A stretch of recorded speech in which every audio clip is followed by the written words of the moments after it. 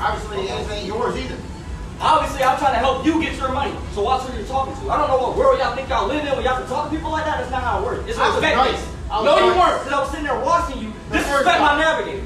Don't do that, man. Whoever they Because at the end of the day, we didn't disrespect you, so don't do that. I gave her a fucking Period. two dollar tip too. Two dollars. Oh my God. Two dollars. I don't give a about the money, Bro, I'm. Please give him his money. Get out of my store. Okay, the quicker you do that, the faster I'll shut the up. Shut the fuck out of the store. then. Thank you. Give me my money. That's what you're about to do. Please shut up. Please be quiet. Faster It's that happens. you being ordered and you acting like a little child. Be quiet. Thank you. I damn sure don't want to do it.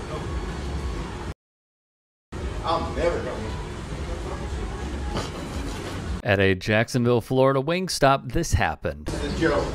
This is a Right, but I'm in the middle of shift change also. So Yeah, I, the problem is it didn't happen during shift change. It happened before shift change. Right, And it was happened 45, 45 minutes. Okay, I'm gonna give you your money back, but you're not gonna holler at me. I'm not hollering at you. You want me to start hollering?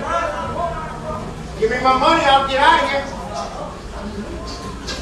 I was polite when I first came up here and said, hey, it's been 45 minutes. Where's my food at? And you said, give me a minute. It's been another 10 Yes, sir. freaking Yes, minutes. sir. Yes, sir. Unfortunately, these occurrences are only continuing. Leave me alone! Stop touching me! Don't touch me! Get away from me! Get away from me! No, you need to listen to me. With customers not appreciating those working. says. It just says 49 cents.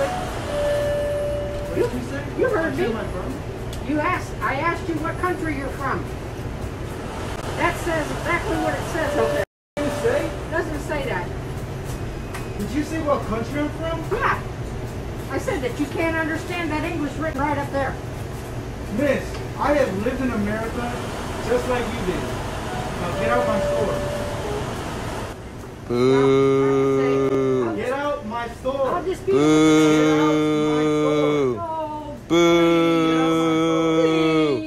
Boo! You're the problem. Oh, yeah? Boo! I better guess again. It's a dollar twenty cents. From stores like 7 Eleven. no store credit. I want my money back. There's nothing that I can do about it.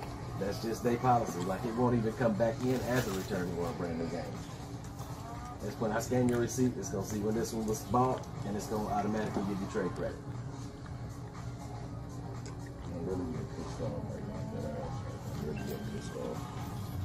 How you doing sir?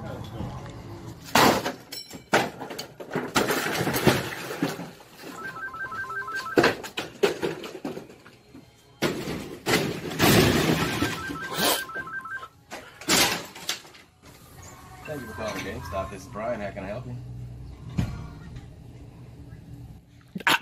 Uh, uh, uh, Um, I have to just check out your system. Um,